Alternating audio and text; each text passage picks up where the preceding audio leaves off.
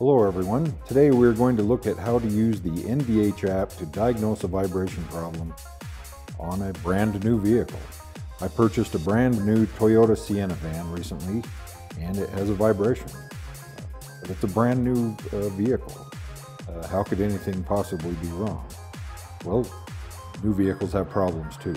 So we are going to be using the new NVH app. There is a four-step diagnostic procedure to go through uh, to diagnose vibrations with this NVH app. So the first thing we do is pick the vehicle that we're going to be uh, working on.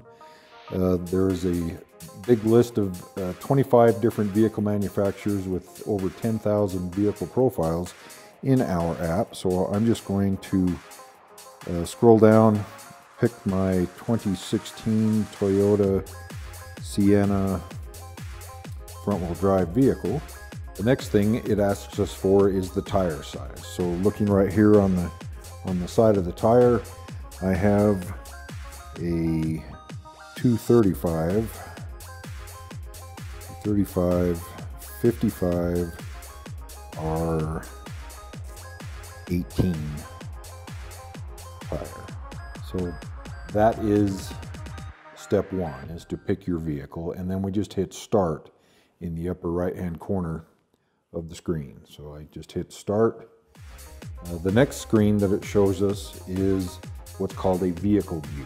It shows your vehicle uh, kind of from a top view and it'll show you the, the tires, the engine, the transaxle and so on. Uh, and now we're ready to go on a road test. So uh, to go on a road test, we are going to hit start recording in the upper right hand corner of the app. And then we're just going to set that on the vehicle dashboard go for a drive. We'll bring the vehicle up to the speed where the vibration occurs and make sure that you can feel the vibration. If you can feel the vibration, so can the NVH app. Uh, then go back to your uh, garage or, or uh, shop and hit stop recording in the upper right hand corner. So I'll hit stop recording. That is the second step of the diagnostic routine. So the third step of the diagnostic procedure is to see what the app tells you is causing the vibration on your vehicle. There are many ways to review the road test. You can look at a breakdown of when the vibration occurred by vehicle speed, the number of times it occurred, and so on. You can look at a graph of amplitude, which is how severe the vibration is versus time. Uh, that is the third step of the diagnostic process is let the NVH app itself tell you what it found as the most severe vibration on your vehicle. Uh, the fourth step, of course, is to repair it. So right at the bottom of the screen here, under where it tells you what the kind of vibration you have, there's a link that reads, how do I fix this vibration? So if we click on that link, it brings up a diagnostic help file with the eight main categories of things that can cause that type of vibration each of those categories has individual, detailed step-by-step -step instructions, photographs, videos, and so on of how to actually find the, the problem with the vehicle.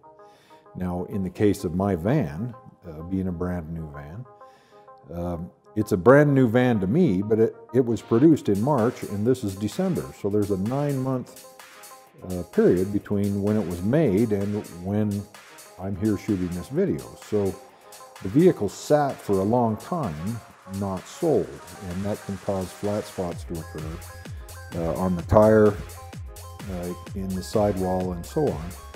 And so uh, what I ended up doing, which is the very first step of the diagnostic procedure here, is, is checking the air pressure of the tires to make sure they were correct. Uh, they were a little bit low. Uh, we inflated them to the proper air pressure, and that caused the vibration not to totally go away, but it reduced it enough that it's uh, bearable. Now, what, would, what else would need to be done to uh, fix this vibration? Continue following the step-by-step -step instructions. It could be something out of balance, something out of balance, on and on and on. There's a big list of things to check. But that is the four-step process. Enter your vehicle information, go on a road test, record the road test. Third step is to come back and review the diagnostics. Fourth step is to do the actual repair on your vehicle. That is the NVH app. It's all right here using the internal sensors of your phone to do the whole thing. You've already got the hardware, it's in your pocket. All you need is the NVH app. Click on the link below to find the app and purchase it for your smartphone.